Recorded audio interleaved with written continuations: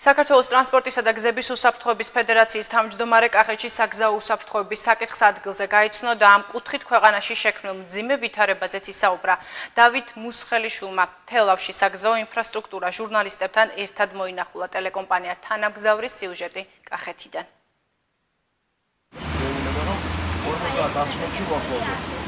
არა, ჯერ შემოწეული უნდა იყოს ცოტა სიუჟეტი. შესაძლოა კახეთის რეგიონში შეხვედრებს საქართველოს ტრანსპორტისა და გზების ასოციაციის თავმჯდომარე დავით მესხიშვილი მართავს და საგზაო უსაფრთხოების მიმართულებით შექმნილ მდგომარეობას ადგილზე სწავლობს. ჩვენი მიზანია რომ სხვადასხვა ქალაქში შევისწავლოთ სწორად არის თუ არა მოწყობილი საგზაო ინფრასტრუქტურა მათ შორის ძალიან საინტერესოა რა თქმა უნდა თელავი რომელიც დატვირთული არის ტურისტებით ინტენსიური აქვს საგზაო მოძრაობა სხვათა შორის და მნიშვნელოვანია რომ საგზაო მონიშნები საგზაო ნიშნები იყოს სწორად გაკეთებული იმისთვის რომ გადაადგილება შესაძლებელი იყოს უსაფრთხოდ. პირველი რაც ყოველას და მე თვალში მხვდება ეს არის საგზაო მონიშნები რომელზეც თავშივე ვთქვათ რომ კარგია რომ ეთყობა ფინანსები გაჩნდა და მე ამას აკეთებს მაგრამ ძალიან ცუდია რომ აკეთებს არასწორად ასოციაციის თავმჯდომარემ საგზაო უსაფრთხოების მიმართულებით თელავში შექმნილ ვითარებაზე კომენტარი ადგილობრივ ჟურნალისტებთან გააკეთა. დავით მესხიშვილის თქმით, თელავში განსაკუთრებით პრობლემატურია ეგრეთ წოდებული ზებრა გადასასვლელების, შუქნიშნების და საგზაო ნიშნების საკითხები.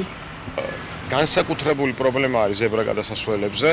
ზებრა გადასასვლელი წესით უნდა იყოს საშუალება ქვეითისთვის, რომ მან უსაფრთხოდ გაიაროს, თუმცა თელავის ზებრა გადასასვლელები არის ძალიან საფრთხის შემცველი პირიქით.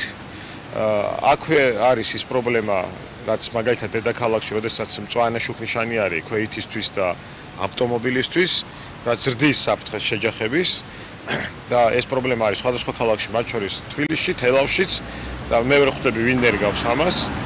რამდენად უსაფრთხოა გარემო საგზაო მოძრაობის მიმართულებით თელავში ამ კითხვას დღეს მიკროავტობუსების და სამარშრუტო ტაქსის მძღოლები მათ უპასუხეს. მათი თქმით გასულ წლებთან შედარებით ქალაქში უკეთესი მდგომარეობაა, თუმცა მათივე განცხადებით ბევრი რამ მაინც გამოსასწორებელი და შესაძლებელია. დალაზის გამზირი არის ისეთი საგზაო ნიშნები, რომ სავალდებულოს მიხდის, რომ მაინც და მაინც იქ უნდა მოვხდო, არა და მინდა რომ გადავიდე გორგიაში. და თურმე დააღვეყოფილა გადასვლა რა. და არის რაღაცები შესაძლებელი. საგზაო ნიშნები კიდე კარგად არის, მაგრამ აი ეს მიმართულებები და რაღაცები ზოგან არ არის დაყენებული რა, აი კითხულობ ეხოლმე აი ეს ეგ აკეთ სად როგორ უნდა წავიდე და რაღაცა. აი სვეტაფორებია კიდე რომ ზოგან 11 წამია მეორე მანქანა ვერ წასვლის და მისაება აი დამატება უნდა წამებს რომ ერთი 4 მანქანა მაინც რომ გაიარეს საკითხის გასარკვევად თელავის მუნიციპალიტეტის საკრებულოში მისულ ტელეკომპანია თანამგზავრის ჟურნალისტებს განუმარტეს, რომ საგზაო უსაფრთხოებისთვის მოწესრიგების მიზნით შექმნილმა სამუშაო ჯგუფმა უკვე იმუშავა. საკრებულომ შესაბამისი პროექტის დაამტკიცა და ამ დროისთვის მეორე ეტაპის სამუშაოებია ჩასატარებელი, რაც პროექტის პრაქტიკულ ნაწილზე გადასვლას გულისხმობს.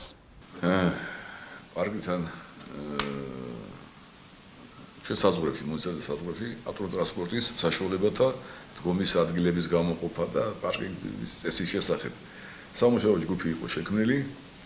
ამ ჯგუფმა იმუშავა და სადღაც შემოდგომით დაამთავრეთ მუშაობა უკვე და ეს კანონმდებლობის კუთხით რაც საჭირო იყო ჩვენ ფაქტიურად ყველაფერი გავაკეთეთ. ჯგუფმა და დადო უკვე დავისი. საკრებულოზე გავიტანეთ. მოიწონა საკრებულობ და მივიღეთ ეს წესი და განკარგულებაც გამოვიდა მაგათ.